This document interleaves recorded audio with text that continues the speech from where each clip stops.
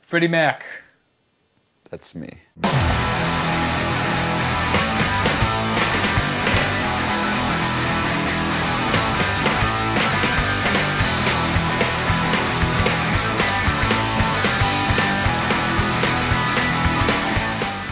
I've never worked with anyone who was as dedicated and as just goddamn determined as he was.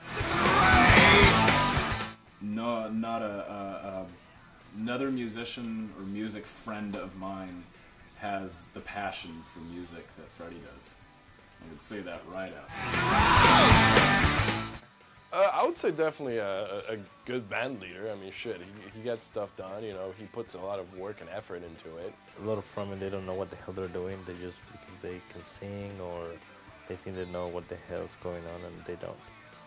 It's like there's guys that are like, oh, I love music. This is what I want to do. Music's my life. Like, I think it's different because like Freddie, like, light. It's like music is other people's lives. Like, music is life for Freddie. He's done more than any of the other bands combined, I would say, that I've ever been in. I don't want him to to hear this because it's gonna go to his head. It's 100% faith in him. I, I know that he likes to have his things done his way. So uh, maybe the, the only thing that I would change about him if I could, I know it's impossible. It's never gonna happen. Make him a little bit more flexible.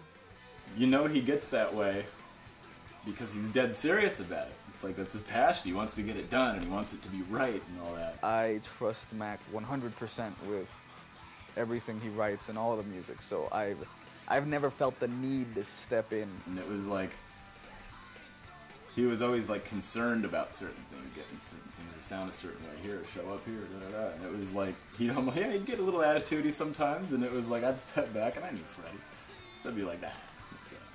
And uh, I, I completely understand where people get that, but I at the same time I hope they understand why he does that. So it's like you can't get angry for him for doing some of the things he does. It's like it's great. It's awesome that he does that. He's the best frontman. He's he's there for the show. He he gives he gives his all, and that's that's contagious. And not a lot of people frontmen do that. I think the highlight was just going out there and having a good time.